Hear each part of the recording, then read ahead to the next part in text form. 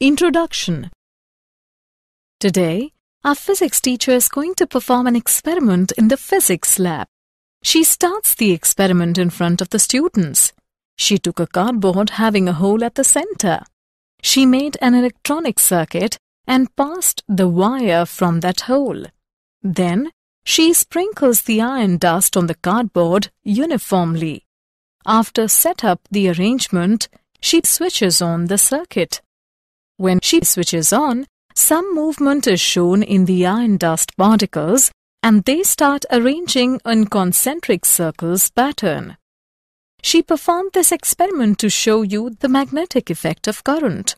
You saw the iron dust particles arranged into the concentric circle pattern due to the magnetic field generated by the electric current. Students, today we'll study more about the moving charges and magnetism.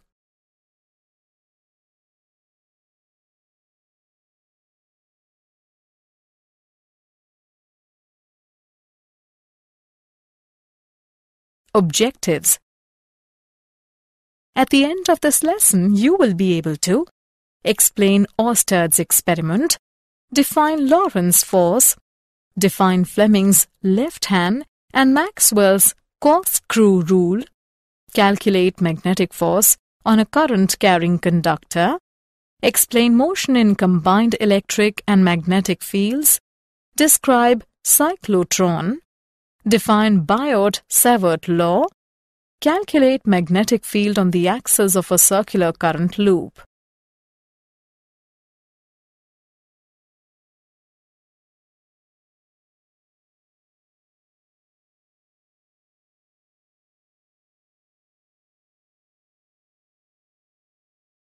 Oersted's experiment.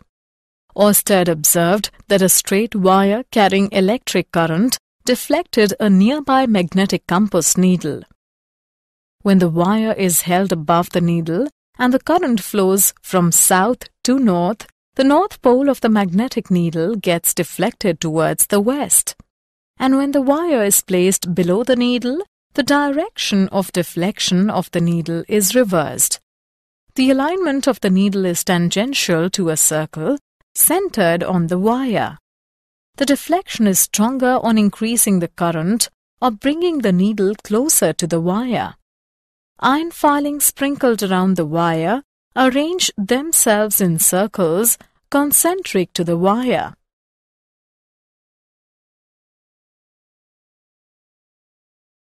Aurora borealis it is a natural phenomenon displayed as magnificent colors in the sky in the latitudes near the poles. Electrons and protons mostly emitted by the sun during a solar flare are trapped in helical paths along the Earth's magnetic field. These particles become crowded near the polar regions where the Earth's magnetic field lines are closer. They occasionally collide with atoms and molecules in the upper atmosphere, causing them to emit light. In the north, this phenomenon is called the aurora borealis, and in the south, it is called the aurora australis.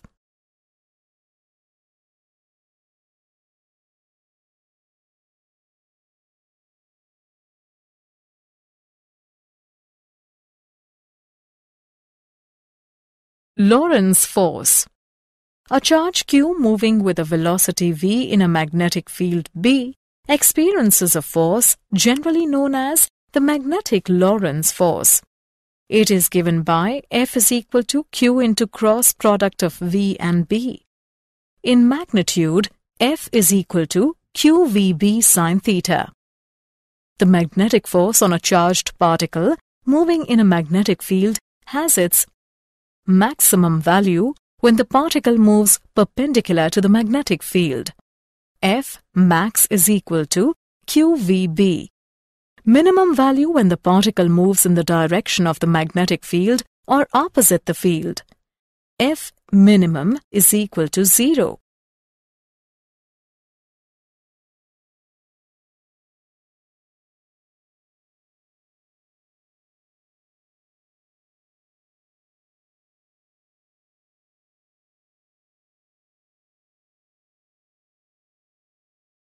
Fleming's left-hand rule. If the forefinger, central finger and thumb of left hand are stretched mutually perpendicular to each other, such that the forefinger may point field and central finger may point current, the thumb will show the direction of force. This rule is used for a current-carrying wire in a magnetic field, such as a wire on the armature of a motor.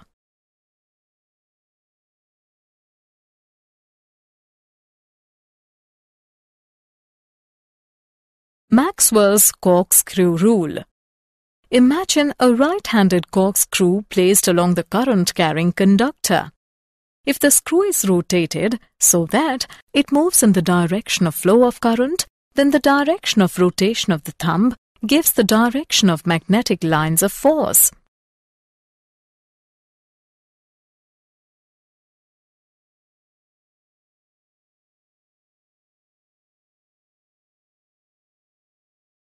Magnetic force on a current-carrying conductor. The moving charge carriers constituting a current in a conductor experience magnetic force when the conductor is placed in a magnetic field. We consider a segment of a conductor of uniform cross-sectional area A carrying a current I in a uniform magnetic field B. We consider a current element I dl of the conductor. The number of free electrons in the element dl of the conductor is NaDl, where N is the number density of free electrons in the conductor. The magnetic force experienced by the current element IdL is given by minus ENADL into cross product of V and B, which is equal to I into cross product of DL and B where I is the current in the conductor. The resultant force F on the conductor is the vector sum of the contributions of all the elements constituting the conductor. Now we get the result F is equal to I into cross product of L and B. The magnitude of magnetic force on the straight conductor is given by F is equal to BIL sine theta.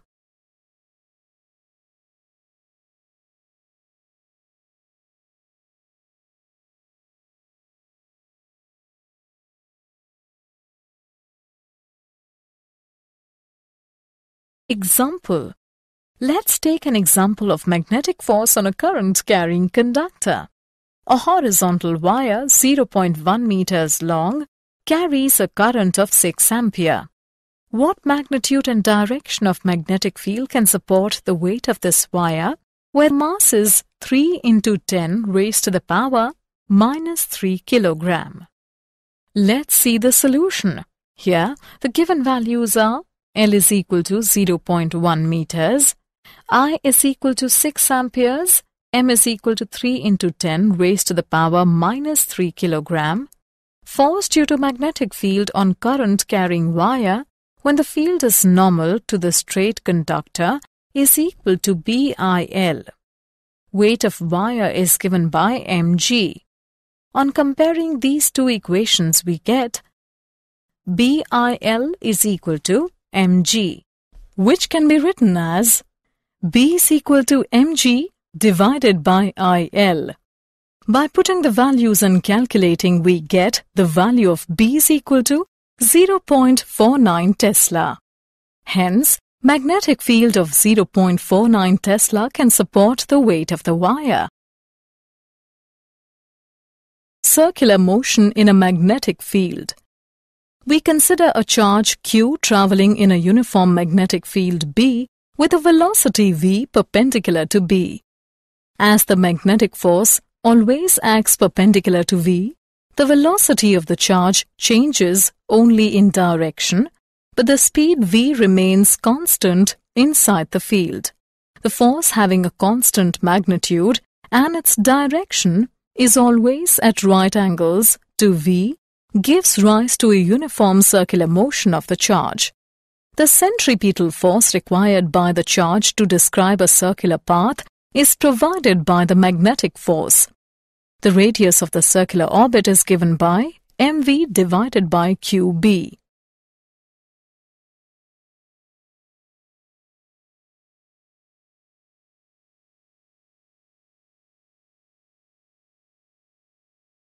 Helical motion in a magnetic field. We consider the initial velocity v of the particle that makes an arbitrary angle with the field b. The velocity component parallel to the field remains constant, while the component perpendicular to the field results in a circular orbit. Radius of the helix is defined as the radius of the circular component of the orbit. Radius of helix is given by perpendicular component of velocity divided by frequency, which is equal to m into perpendicular component of velocity divided by qb. Motion in combined electric and magnetic fields. Velocity selector. If a charge with velocity enters a region where both electric field and magnetic field exist in such a way that the electric force and magnetic force are equal and opposite, then the charge will move undeflected in the fields. This can happen with velocity, electric field and magnetic field are mutually perpendicular to one another. Cyclotron The cyclotron is a machine used for accelerating charged particles such as protons or ions to higher energies. Principle and working of cyclotron. Cyclotron works on the principle that a magnetic field can restrict a charged particle to move in a circular path with a frequency which is independent of its speed, whereas an electric field can accelerate it. The cyclotron consists of an evacuated chamber in which there are two Ds insulated from each other. The Ds are open along their straight edges. The chamber is placed between the poles of a very strong electromagnet. An electric oscillator establishes a high-frequency alternating voltage across the gap between the Ds.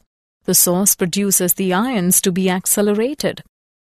Suppose an ion with a positive charge Q and mass m is at the center of gap when D1 is at negative potential with respect to D2. The ion is accelerated across the gap by the electric field between the Ds towards D1. Inside a D, the magnetic field causes the ion to bend its path into a semicircle of radius r inside a D. Here, charge follow the given relation. QVB is equal to mv squared divided by r. The cyclotron frequency at which the ions circulate in the field is given by QB divided by 2 pi m. And time taken by the ion to complete a semicircle in a D is given by pi m divided by QB.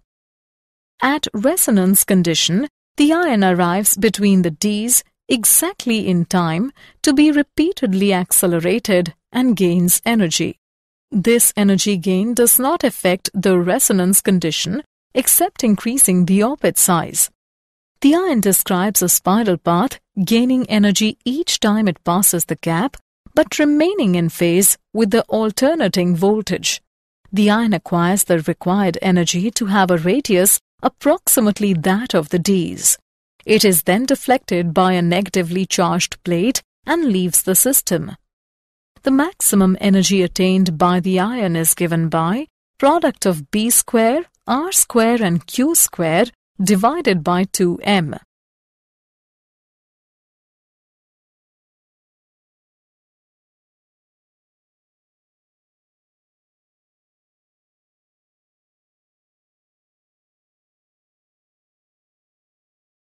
Applications and limitations of cyclotron. It is used in the study of nuclear reactions. It is used to implant ions into solids and modify their properties. It is used to produce radioactive substances which can be used in diagnosis and treatment of ailments. At high speeds, the cyclotron frequency decreases due to realistic mass increase causing the particles to get out of resonance with the electric oscillator. It can be used for accelerating electrically neutral particles such as neutrons. Biot-Savart law it is a mathematical description of the magnetic field at a point that arises from a current flowing through a current element. Biot-Savart law states that the magnitude of the magnetic field dB at any point P located at position vector r with respect to the current element IDL carrying a current I is proportional to the current I, proportional to the length dl of the current element, proportional to sine theta where theta is the angle between r and dl, and inversely proportional to the square of the distance r of the point P from the current element. Mathematical form of Biot-Savart law. In mathematical form, dB is equal to K multiplied by I and cross product of dl and r cap divided by r square, where K is the proportionality constant and its value is given by mu naught upon 4 pi. Now Biot-Savart law becomes in vector form is given by dB is equal to mu naught upon 4 pi multiplied by I and cross product of dl and r cap divided by r square. And in magnitude form, dB is equal to mu naught upon 4 pi multiplied by I dl sine theta divided by r square.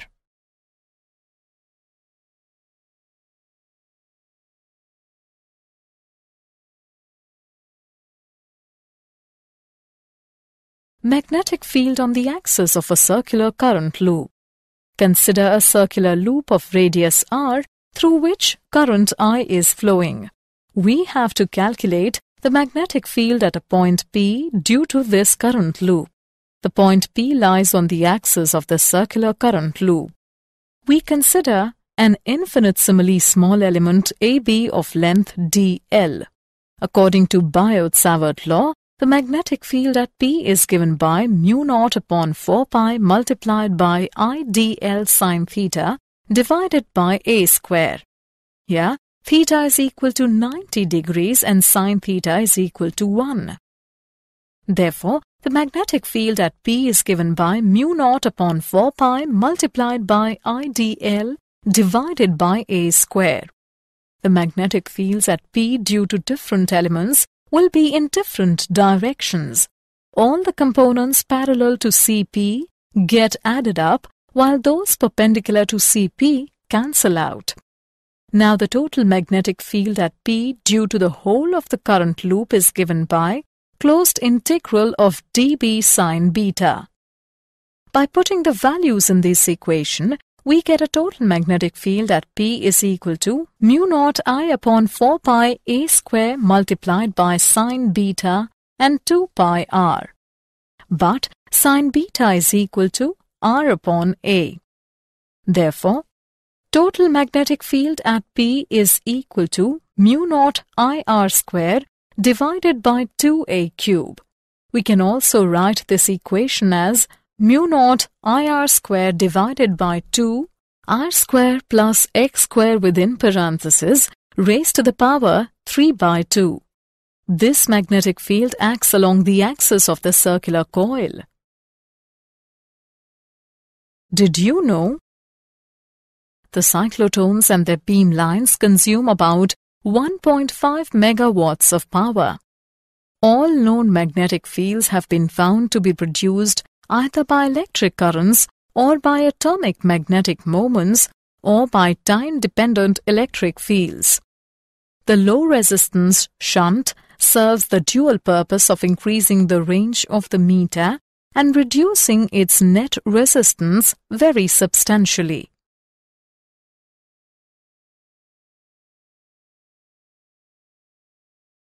Summary let us summarize what we have learned. Oersted observed that a straight wire carrying electric current deflected a nearby magnetic compass needle. The magnetic force on a charged particle moving in a magnetic field has its maximum value when the particle moves perpendicular to the magnetic field. Fleming's left-hand rule is used for a current-carrying wire in a magnetic field such as a wire on the armature of a motor. Maxwell's corkscrew rule states if a screw is rotated so that it moves in the direction of flow of current, then the direction of rotation of the thumb gives the direction of magnetic lines of force.